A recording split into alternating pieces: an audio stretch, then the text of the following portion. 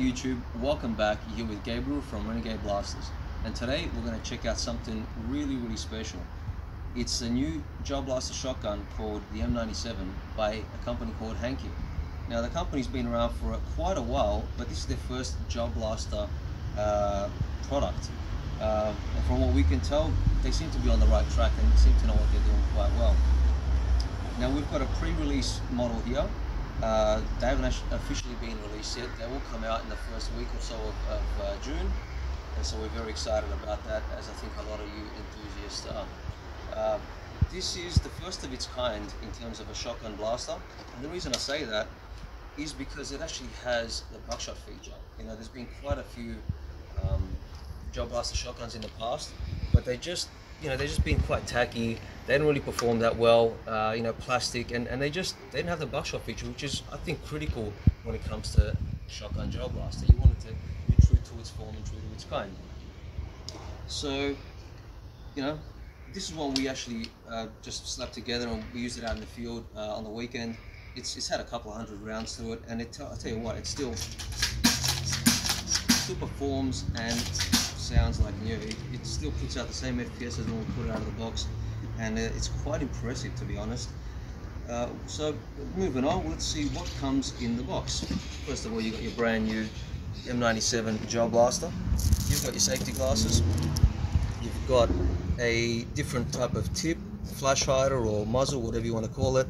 Uh, we, will keep the red one on just for safety measures.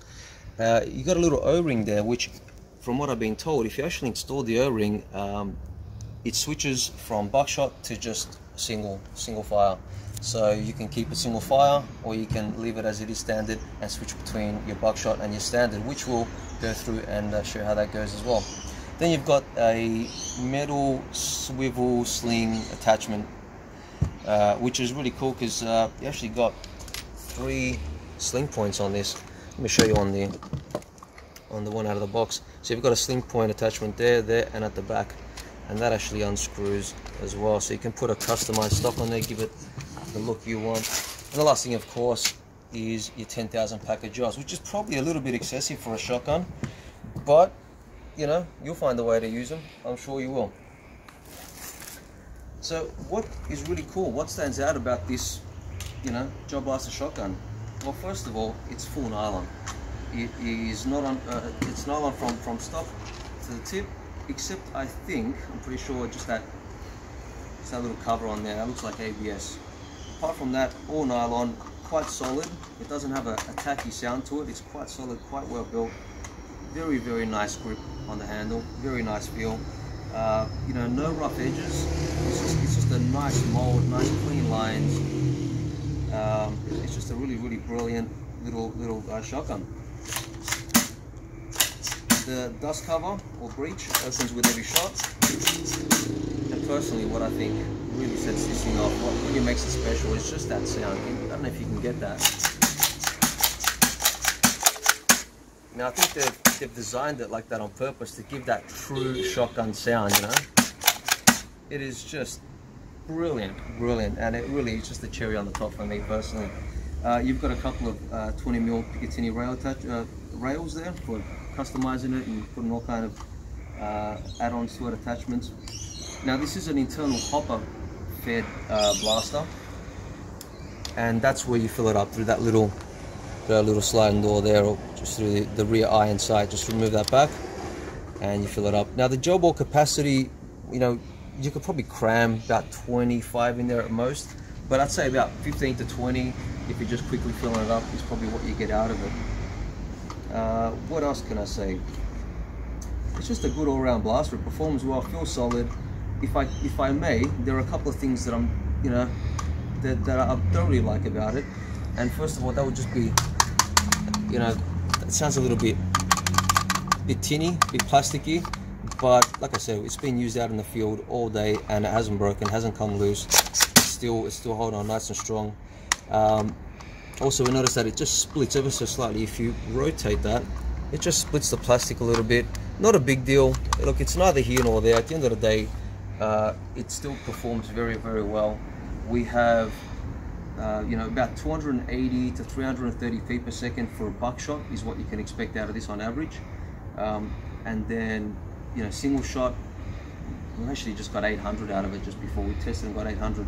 But it's not it's not uncommon to get 700, 600, but most commonly, on average, um, 280 to 330 for for a buckshot, and about 400, 450 or so for a single shot. That's that's about where you you know where you'd be all day long. Uh, besides that, I tell you what, it's just a pleasure to use, pleasure to handle. It's just really nice to hold. And one of the other awesome features that I did touch on, you can unscrew that little end cap there and you can attach a buffer tube and a stock of your choice. This is just the uh, the stock that you get off the Wells M4 uh, and a metal buffer tube we had lying around and it's just a nice, it's got quite a bit of weight to it. Um, just a nice nice stock. Well, it looks good on anything really.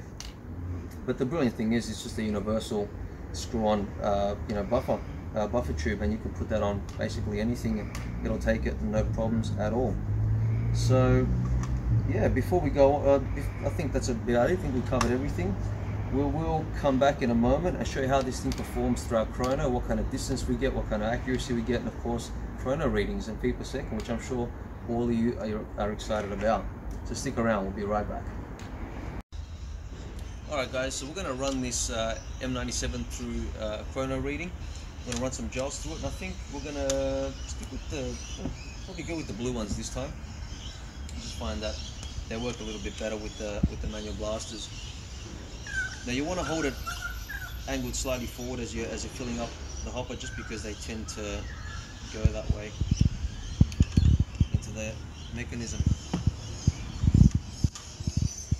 Now, what I probably didn't mention before is the angle you hold it at when you when you cock it will affect how many gels it shoots out. So we'll uh, we'll see what kind of results we get and how many gels we shoot. They they will usually vary quite a bit uh, depending on how many gels you shoot, whether it's uh, you know five, six, or, or just one.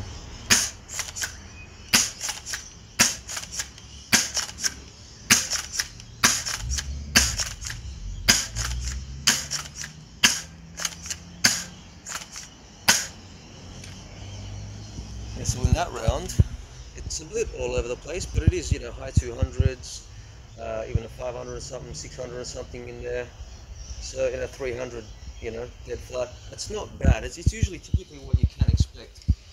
Um, simply because, you know, you're not always shooting just one job, or sometimes you shoot one, sometimes you shoot two or, or three. So it just depends on the angle. The, the lower the angle that you hold it at, so if you hold it pointed to the ground, straight down, you will shoot six, five, six, no problems. Of course, the FPS readings will be a little bit lower, but generally speaking, uh, it still performs quite well. I'll do that one again.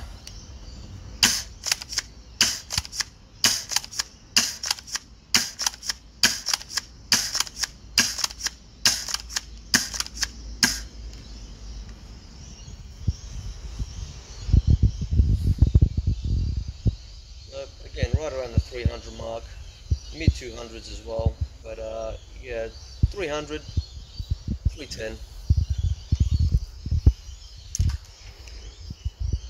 so there you go for as far as chrono readings go. It is a little bit all over the place because it does shoot you know wildly more or less gels depending on how you cock it and how you hold it.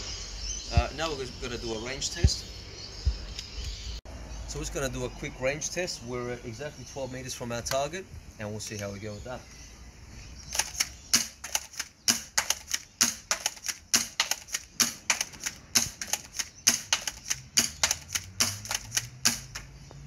As you can see, it hits the target with quite a bit of force, makes the distance every single time, and um, you'll feel it at 12 meters, don't worry. Now it does go as far as about 25 meters with a single shot, with a uh, with a buckshot, you'll get 12 meters quite consistently and with quite a bit of accuracy. We'll try that again. We'll see how we go.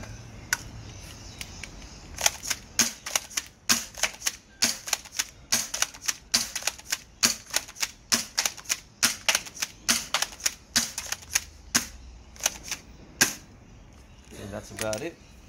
But as you can see, makes the distance no problem at 12 meters. You want more uh, you want more gels to come out when you're shooting, just hold it more at an angle when you're cocking it. Hold it level when you want single shot mode, or if you want to just keep the single shot, change that little uh, O-ring. But there you go guys, thank you for watching. That has been an absolute pleasure to, to you know, it's an absolute pleasure to, to handle. It's a, it's a brilliant experience as far as the blaster goes. It's really unique, really special. Uh, and I'm very excited to see what you guys come up with in terms of upgrades, in terms of uh, in terms of tactical accessories and so forth. It is going to be a very, very big hit, I'm sure of it, and uh, we're very excited to have it. Thank you so much for watching, guys. I'm Gabriel from Renegade Blasters, and we'll see you in the next video.